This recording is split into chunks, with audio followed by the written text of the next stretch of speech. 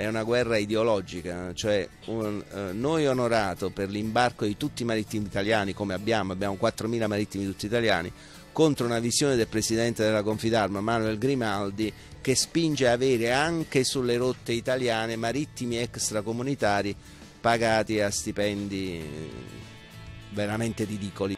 Vincenzo Onorato punta la prua contro le compagnie concorrenti. Il patron di Mobi e Tirrenia annuncia una battaglia senza tregua per impedire l'approvazione della legge che consentirebbe di imbarcare marittimi extracomunitari e che rischia di provocare il licenziamento di 20.000 lavoratori italiani.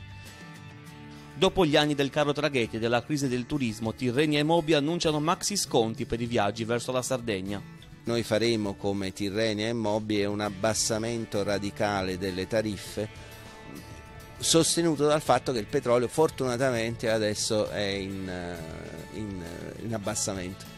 Avete annunciato tariffe più basse per i turisti del 40%? Sì, confermiamo. Da cinque mesi Onorato è patron anche di Tirrenia, come intende migliorarla? Eh, il, primo passo, quello più palese, quello più evidente, sono le flat rate, cioè tariffe bassissime eh, per i residenti e i nati in Sardegna. È ridicolo che ci siano eh, 14, eh, si spenda 14 euro per andare da Olbia a Civitavecchia e ci siano poi 10, 12, 13 euro di tasse portuali.